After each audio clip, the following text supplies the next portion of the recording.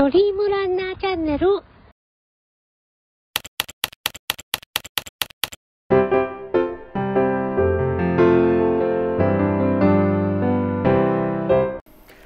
こんにちは。司会の広岡です、えー、ドリームランナーチャンネルのご視聴ありがとうございます、えー、本日もホンダコレクションホールにお邪魔しておりまして、えー、特別な許可をいただいて手の消毒を行いマフラーあマスクを外して撮影させていただきます、え今回のお題はこちらの CB400 フォアです、え今回もホンダでエンジン開発を担当されました渡辺信義さんに来ていただきいろいろ教えていただきますのでごゆっくりご覧ください。ではまずこの CB400 フォアの概要を振り返ります、えー、CB400 フォアは1974年に発売されました。でその2年後に、えー、免許制度の改定によりまして中型免許でも乗れる 398cc のモデルも追加されました。でこれの前身は CB350 フォアだったんですけども、えー、これに対して 400cc カフェレカフェレーサー超スタイルということで、えー、大人気となりました。はい。では渡辺渡辺信義さんをご紹介いたします、えー、渡辺さんは本田技術研究所で二輪レーサーのエンジン設計をやるとともに、えー、世界モトクロス 500cc の監督として、えー、上昇ホンダを引っ張ってこられました、えー、ホンダ卒業後は講演活動や、えー、星型空冷エンジンの開設などで更新の指導に尽力しておられます。それでは渡辺さんどうぞ。はいこんにちは、えー、今回もいろいろとですね、えー、分かりやすい面白いお話をしたいと思います。よろしくお願いします。はい。ではまず質問したいんですけども、えー、この CB400 フォアが、えー、大人気となった理由はどこにあるんでしょうか？えー、大人気ですからどこがという難しいんですけども まあ、私なりの解釈ではですね、まあ、ここにちょうど3台並んでおりますが、えー、一番最初に4気筒のスーパースポーツバイクということで750が出てで次に500が出てで次に400ということで、まあ、言ってみればですねオートバイの黄金期を象徴するようなラインナップこれ全て直列4気筒ということで、まあ、小さくなればなるほど、えー、高回転を回してですね、まあ、その雰囲気も楽しめるというところですね、まあ、それと、えー、日本人にも、まあ、乗りやすいサイズ。私もこれ、えー、自分の愛車として一時期乗っておりました。それからですね、え、まタンクそれからサイドカバー含めて、まあ、今回この400フォアはですね、えー、マフラーのデザインも、えー、今までのこう1キロあたり1本のタイプから4気筒を1本にまとめるということでまあこれがまあ一部ではカフェレーサースタイルがこれだみたいな形でね、えー、人気を博したんで、まあ、そういう意味では、まあ、ある意味、えー、国民的なバイクファンを、えー、圧倒的に増やすのに貢献できたバイクかなと。いうふうに思います。はい、はい、ありがとうございますということで当時の量産車としては画期的な、えー、スタイルとか、えー、集合マフラーで非常に人気を博したと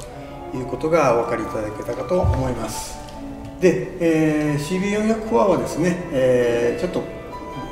外れましておまけの話題をこれから渡辺さんにお聞きしたいと思います、えー、それというのはですねあの馬力とトルクの、え、正しい認識というのが、えー、なかなか今、えー、世間様では、えー、誤解されている面が多いということで、えー、走りを決めるのは馬力ではなくトルク特性ですということをですねぜひちょっと大事な話なので渡辺さんに解説をお願いしたいと思います。はいえーとですね、私あの、ホンダに入りまして、30年間、二輪と四輪、ずっとエンジンの設計開発をやってきまして、えー、2サイクルのモトスコあモトクロス短気筒からですね、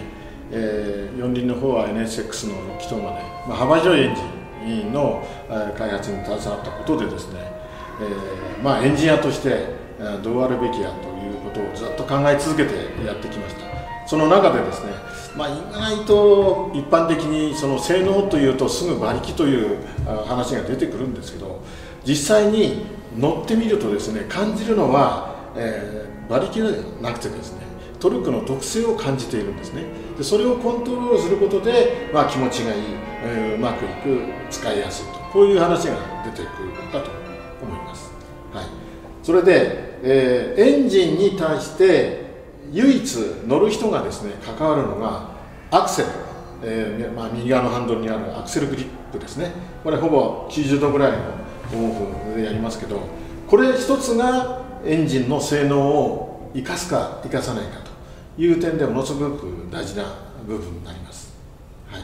それでですね普通はあの馬力馬力と先ほど言いましたけど馬力というのはですね実は計算値でありまして実際に感じるものではないんですね。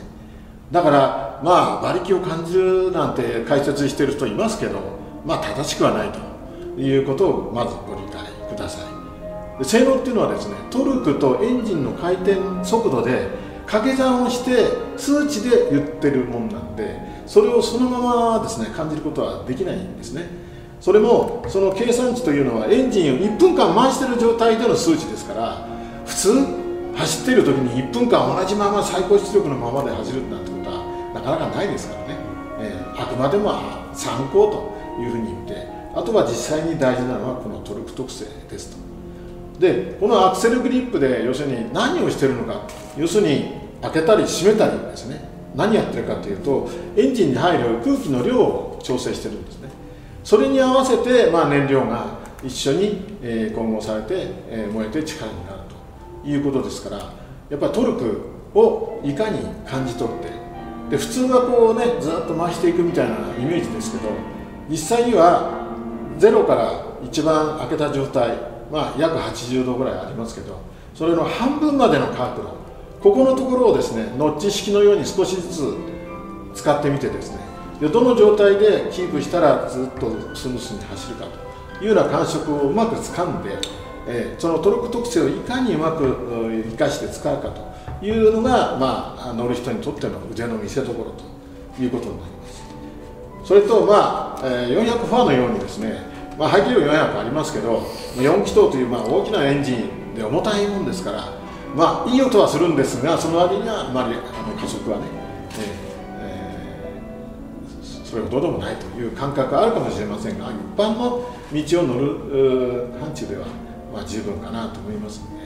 えー、ぜひですねアクセルの使い方っていうのをですね、えー、しっかり理解していただくとより、えー、バイクライフがね、えー、楽しめるんではないかというふうに思っています。はい、こんなところでわかりました。はい、はい、えー、トルクを重視して運転をするあるいはバイク選びをするということが重要だということが、えー、分かったと思います、はい、で私も含めましてですねご視聴者の皆さんも、えー、これからはバリとよりもトルクを重視した運転とバイク選びをするといいんじゃないかなと思いました。どうもありがとうございました、はい。はい、よろしくお願いします、えー、CB404 の開発エピソードはいかがでしたでしょうか、えー、今でも人気のあるバイクです、えーご覧になっていただきありがとうございました、えホームページの概要欄にもリンクを貼っておきますのでご利用ください。今回も、えモビリティリゾートもてぎホンダコレクションホール様のご協力いただきまして撮影させていただきました。どうもありがとうございました。それではまたお会いしましょう。どうもありがとうございました。